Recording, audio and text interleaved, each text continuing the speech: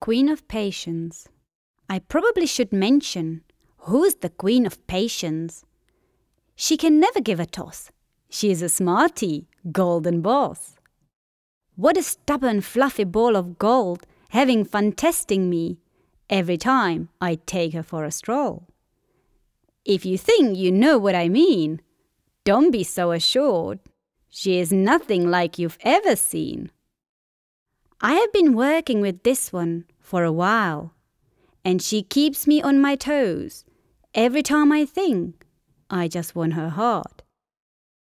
We've got this fantastic push pull relationship, and everybody must think what is it about those two blonde, crazy acting chicks? Anybody out there with more training tips? Well, I can't even finish this poem. I just turned around and she's testing again.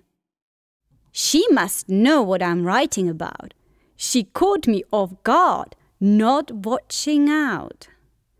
She is already coming back from her naughty, smelly creation. Oh well, that's what you get for losing one second of your attention. And I'm pretty sure that was exactly her primal intention. Well done, Goldie. What have you done to your beautiful golden locks? I don't believe it. They are black and smell like a fox.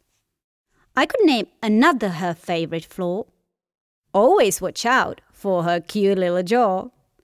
That's how she likes to greet people instead of a simple greeting with a paw. And have you ever seen her with a stone? She's like a queen guarding her throne.